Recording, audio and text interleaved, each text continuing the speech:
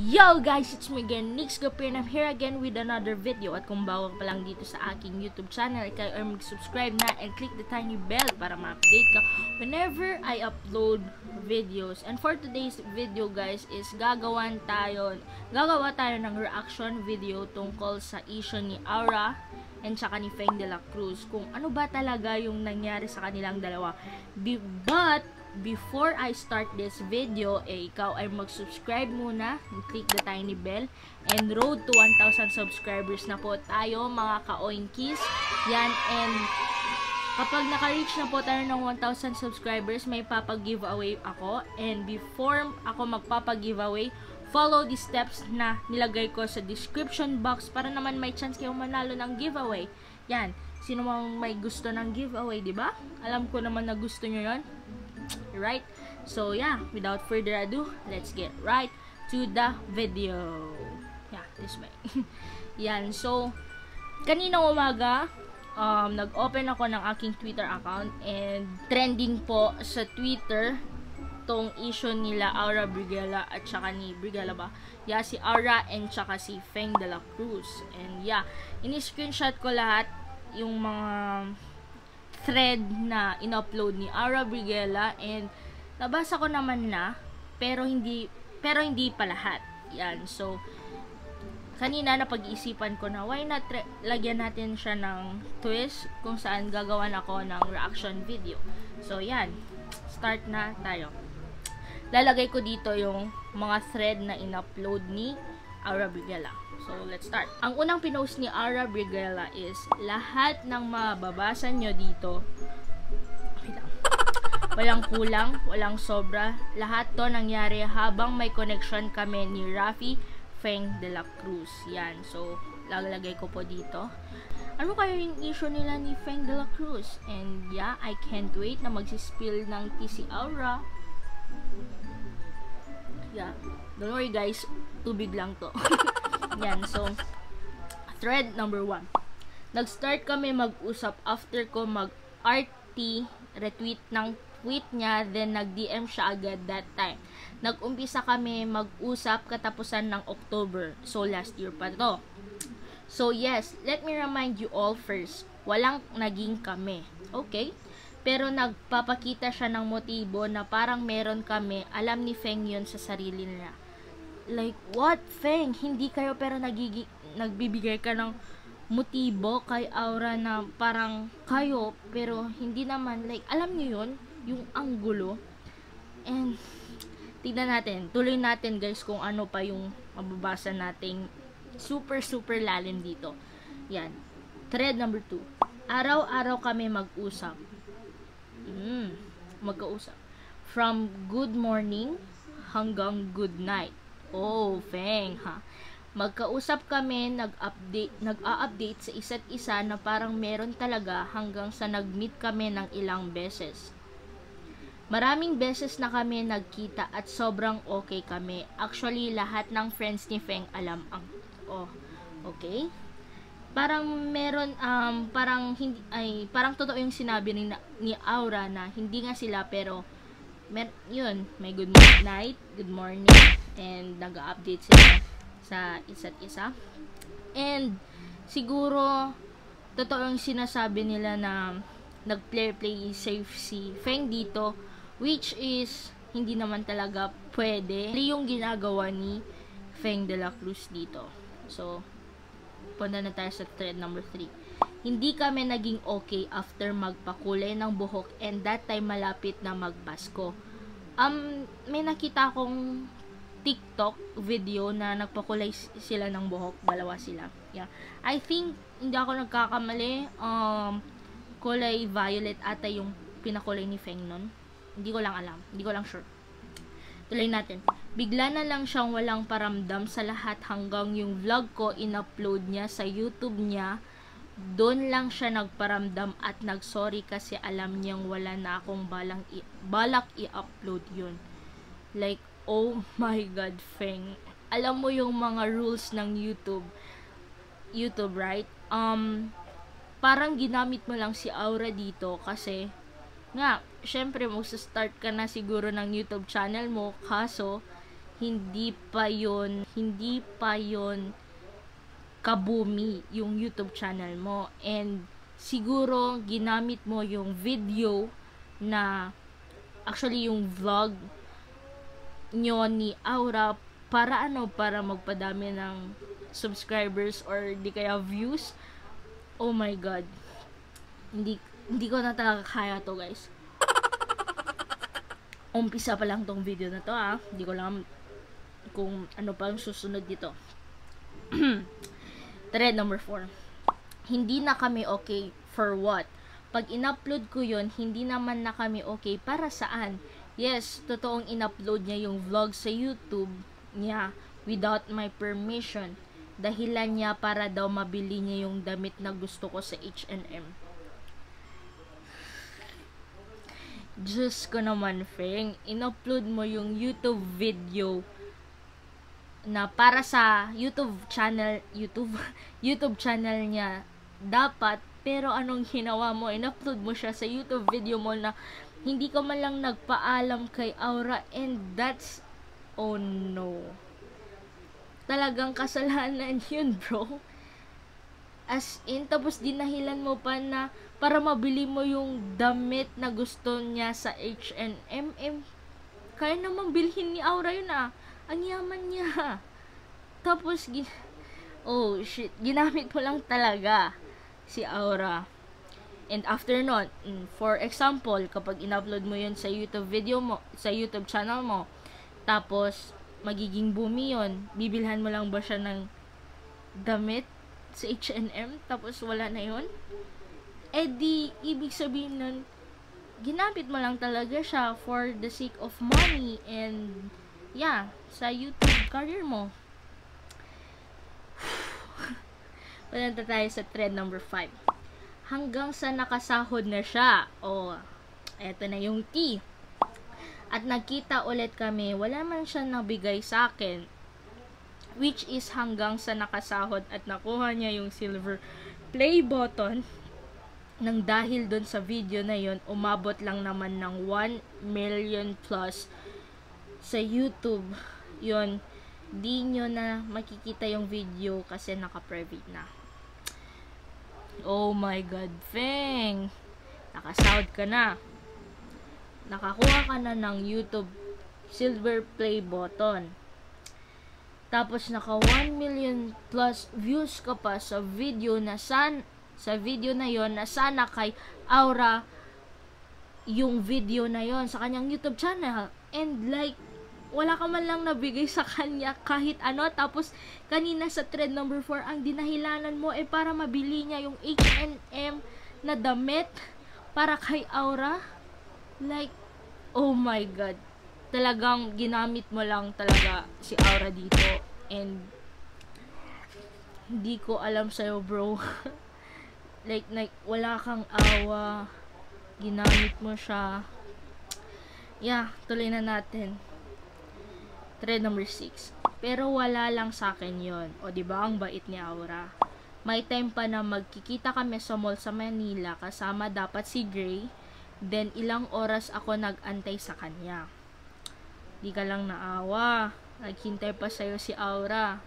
Yan. Thread number 7. Tawag ako ng tawag hanggang sa may sumagot na babae at sabi na iwan daw phone ni Feng sa MRT. Which is nakuha ko yung phone niya at nagkita kami. Pero alam mo ba lahat pala yun? Set up. Like, what the heck, bro? it.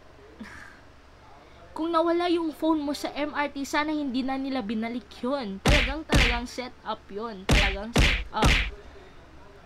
Galing mo naman, bro. Oh my God. Muna tayo sa thread number 8.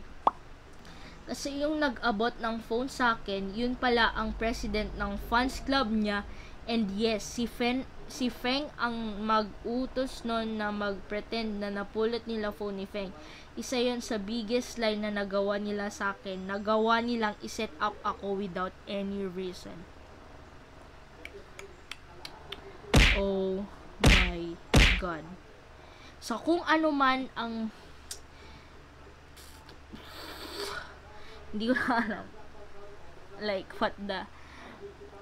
Sa mga taong sa mga tao behind this kind of setup ni Feng, di na lang kayo naawa kay Feng. Ay kay, I mean kay Aura.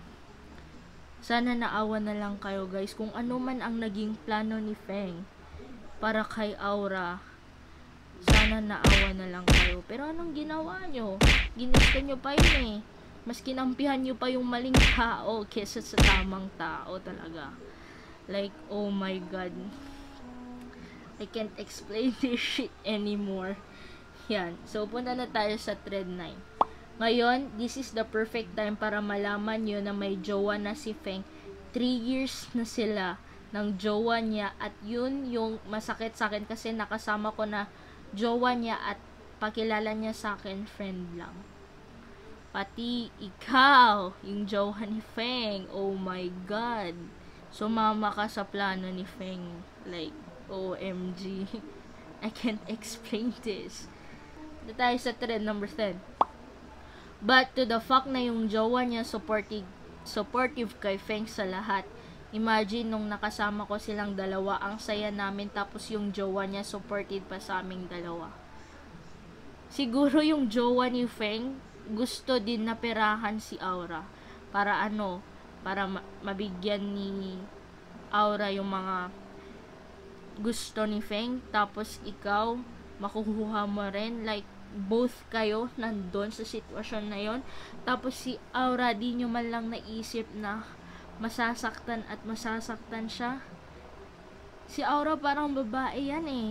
Pero anong gusto mo?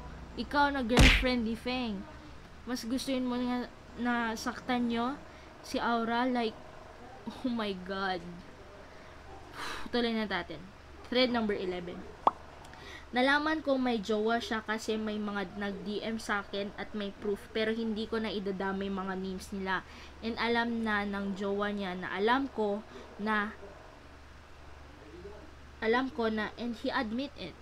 Yan, so buti na lang nag-isip si Aura and thank God luckily na nag-isip ka Aura ng dininig mo yung mga sinasabi ng tao na niloloko ka lang nila, ganito. And, yeah, um, ginawa mo yung tamang decision. Para sa'yo lang naman to eh, para sa pakanan mo. Yan. So, punta na tayo sa thread number 12. Hindi ako gumawa ng thread about sa kanya para i-hate nyo siya. Ginawa ko to para alam nyo na ang totoo, totoo at lahat yan totoo. Yan, hindi natin dapat i-hate si Aura. To the point na naging tanga siya and to the point na naging bulag siya guys. And syempre kailang, uh, kailangan natin siyang ipagdasal kasi naloko siya ng mga taong para sa kanya ay hindi hindi nila yon magagawa. Like yan So, punta na tayo sa trend number 13. Ito yung nagbonding kami kasama jowa niya na ang akala ko friend niya lang. Um, tinakpan ni Aura yung mga pityors, yung mga mukha. I think apat sila. And siguro nandyan yung jowa ni Feng. Feel ko lalaki lahat sila to. Dito. Yeah. By ata si Feng eh. Mm. And yeah, hindi na lang kayo naawa kay Aura. Nakasama nyo pa siya, pinaglaruan nyo pa siya, guys. Punta na tayo sa thread, thread 14. Ito naman yung mga time na set up ang ginawa nila sa akin. Yung babae, yan, lagi akong dinadrag or bash just to defend Feng. dinedepensa nyo pa yung taong mali, yung taong magaling sa setup. Like, yan. Hindi ko na babasahin yung bash. Threat number 16. Hindi ko nga alam ano intention ni Feng eh kasi niloko na ni Feng kaibigan ko. Kung kilala mo si Cedric Rosal, ata yung name na cheerleader ng ABU. Kasi nag-cheering din si Feng diba sa LPU. Or LPU ba to? Ayun, ayun, naglandian sila kay, kaya nga may nasabi si Cedric noon nung nag-post si Aura ng pic nila ni Feng. Pero dead na pa rin si Feng kasi importante nga sa kanya yung fame. Yan. Tapos ngayon, bumalik ata kay Polly kasi nga wala namang makukuha siguro kay Cedric. At scholar lang din si Cedric. Pati allowance na Feng si Polly nagbibigay. Awang-awa ako kay Polly noon nung pinento niya. Eh mahal nga ni Polly kaya siguro binalikan pero ang toxic ng ginagawa niya kay Polly kasi isipin mo, basis niya, allowance niya, allowance niya, lahat ng gusto niya, niya binibigay ni Feng pero ang pakilala lang niya sa lahat ng tao is kaibigan lang. So, ang point dito is, hindi lang pala si Aura yung niloko niya, madami na din. Mga cheerleader, yan. Siguro yung mga nakakuha ng scholarship, yung mga scholarship yan, yung may allowance, tapos yung mga allowance nila, napupunta kay Feng. Dakilang gold digger. Yan. Siyempre, mahal ni Polly, kaya okay lang sa kanya yun. Po ni Feng binigay ni Polly, tapos ganun ginagawa sa kanya. Minsan di pa nga raw nagbibigay si Feng ng kahit anong regalo kay Polly. Gusto lang talaga ni Feng sumikat, pero ang totoo, wala namang utak. aanhin mo ang fame. Feng, kung wala ito, tandaan mo yan. Kilala ko na si Feng dahil nga sa kaibigan ko si Polly. Pero ayun nga, sa sinabi ko, sinabi rin sa akin ni Polly yon Suportado niya ding di si Feng kasi gusto niya din sumikat. Ah, gusto sumikat, wala namang manners. Ay, Feng, walang silbi ang fame mo kung wala kang utak, wala kang manners, wala kang respeto sa mga taong nakapaligid sa'yo. Alam mo yan. Meron nga na sobrang sama ng ugali ni Feng kasi wala nang pera si Polly na 20 na lang binabato ni Feng yung pera kasi bakit yun lang daw yung binibigay niya. Hanggang sa time na nagsasardines na lang nabaon sa school si Polly. Kaya laking galit ko kasi yung ugali ni Feng na di na lang magpasalamat itatapon pa yung pera sa kanya. Bro, wag ka nun. Ang pera, ang daming nangangailangan niyan. Tapos ibabato mo lang? Anong gagawin mo? Eh, 20 pesos na lang yung natira kay Polly. Ano ka? Gahaman ka ba? Wala na tayo sa thread 17. Nag-try din siyang makipag-Romeo sa akin that time. And yes, kala ko okay na ako hanggang sa nalaman ko yung about sa jowa niya. Yan, nakita ko to sa Facebook and nag-trending yung Romeo Juliet ni Aura and tsaka ni Feng. And yeah, basahin na natin yung 18 thread. Last text namin, ang hindi niya pa rin inamin yung totoo. Alam mo ba yung feeling na alam na nga ni Aura yung totoo, hindi mo pa din aaminin. Magsising, magsisinungaling ka pa. Like, hindi ka na naawa sa tao and like, damn, bro. And ito yung text message ni Feng kay Aura. Hey, what's up, man? PS for our eyes only kasi tayo lang involved dito. Nag- Nag-DM ako para hindi makipag-argument or makipagtalo. I thought na we are goods na kasi nga sabi mo you forget all the past and you are okay na. And unbothered queen ka nga, di ba, Aura? Haha. Pero ah, yung tanong ko lang, ba't may pag-post ng ganun yung kapatid mo ata? Sorry, di ko kilala. In what purpose? At in- ginagatungan mo pa? Di ko na pinagtanggol sarili ko sa public. Hinayaan ko na lang ang and sana naging masaya kayo. I just want to say sorry. Paulit-ulit akong nagsasorry in messages. Tapos ayun nga, siguro kasi naging nagsimula yung thought na ginagamit kita. Saan? Oo, nagkamali ako ng decision yung sa video na sinabi dun sa statement ng kapatid mo sa tweet, diba? I explained it to you naman na dapat para sa H&M, long sleeve nating dalawa yon na gusto mo. Ano pa ba? Tapos maghahalo ng ibang issue para saan? Bakit? Pero Hayaan ko na lang yun. No worries. Ayun, sorry again. Thank you sa friendship. Ayun, uulitin ko, Aura, ayaw kong makipagtalo. I sincerely apologize. Sorry kung ano man ang nangyari. Alam mo, Feng, kung sasabihin man ng isang tao na okay lang sila kahit nasaktan na sila, kikim-kimin nila yon Kasi masakit talaga yon Pero sasabihin na, na, na lang nila na okay sila. Pero ang totoo, hindi, Feng. Naging manhid ka doon, Feng. Hindi mo alam yung magiging consequences kung ano man yung gagawin mo na iset up si Aura, nagamitin mo si Aura, dahil lang sa pera, dahil sa fame, di ka na lang panahiya. And eto yung sinabi ni Aura sa text message ni Feng. Can you please this time magsabi ka na ng totoo? Kahit ngayon lang, Feng, lahat ng meron sa ating dalawa, ano yon for you? Please tell me the truth, at least for now. And also, stop playing safe. Yan. Yung naging sa ating dalawa, naging masaya ako. Sa totoo lang. Di ko alam kung anong gagawin na panahon na yon kasi lumalalim yung about sa ating dalawa at ayaw din kitang saktan kaya as much as possible bumabawi ako pag nakikita tayo. Please stop na. Wow, stop na. Hindi pa nga ako nagsisimula, Feng. Wala pa nga akong intro eh. Feng, tama na. Di mo na ako makukuha sa mga paawa effects mo. Ang gusto ko malaman ngayon yung totoo kasi may mga nag-DM sa akin tungkol sa'yo. Huwag na tayong maglokohan dito. Di ako nagpapaawa. Anong tungkol sa akin? Sabi niya. Yan, so nagiging play safe talaga dito si Feng. And parang siya pa yung naagrabyado. Like, parang ganun na nga, di ba? So, ito na yung 19th na thread ni Aura. Again, hindi ako gumawa ng thread para i-hate nyo isa sa amin. Ginawa ko to kasi para alam nyo na ang totoo.